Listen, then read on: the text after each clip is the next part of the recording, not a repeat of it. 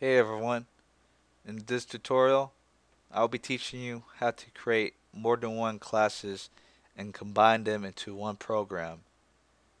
The reason why we want to do that is because sometimes people like people can work on the same program. One person can work work on one class, another one can work on the other class. For example, let's say I wanted to do animation and my other, my buddy wants to do a character mechanic or mapping, etc. So that's why it's useful. And also, if you're making your program alone, classes can also help you organize your codes, like methods. Alright, well, let's get started. Alright, well, we want to create a new class. If you're using Notepad++, then let's open a new class.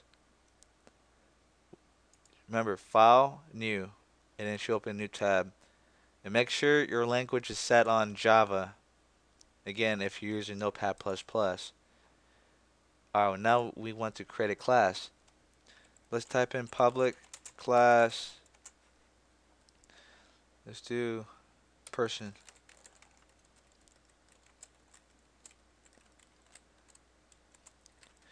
Alright, well, we can't use the main method in here because, or in here because, like I said, we want to create the, or we want to combine this class with this class. And this right here already have a main method, so we can't add a main method here. Oh, now let's create a method. We can do that though, but we can't do main. And let's make that method um, let's make it simple. Remember from last tutorial? We're going to do the same thing inside this class. Let's do hi YouTube.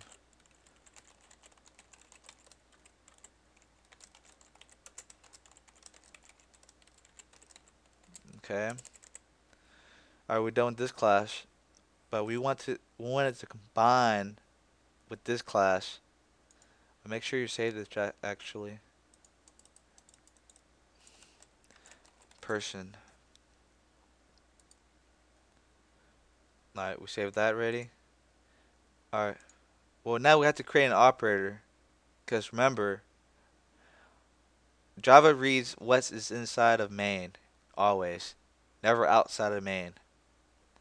So, we need to create an operator and tell Java, say, hey, we want uh, something from this class right here.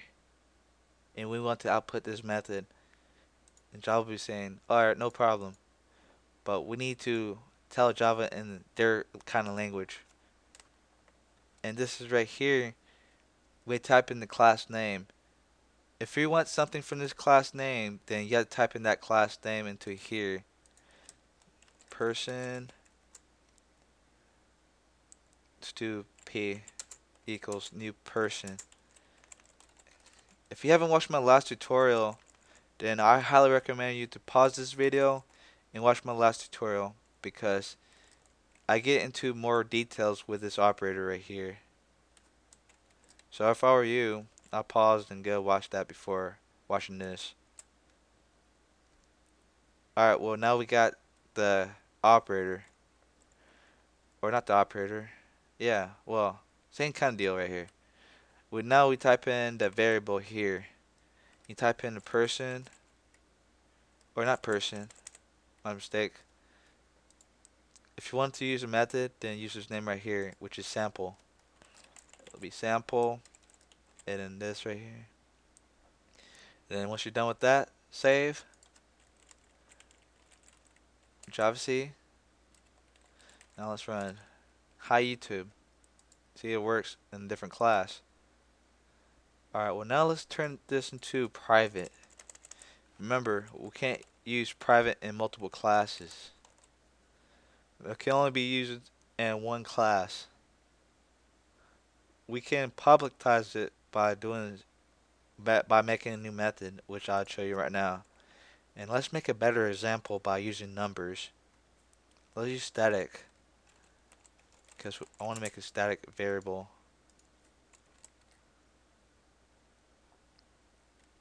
To do static int a and b. And now we need to make a public method. Do static also? Do sample too.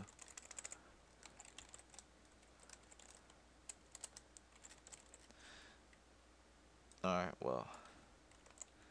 Let we want to return something. And uh, that will be a great example. To ant ants equals a plus b. And make a uh, let's set a value for this. Let's be 10. this will be 20. Should get 30 for the ants, and now let's return value. Remember, ants is equivalent to simple, so whatever the sum of this and the sum will be 30. So basically, it'll be saying, all right, once we return this, return return this, then it'll be 30 is equivalent to this method here. So now we can say, all right, we use int z equivalent to sample,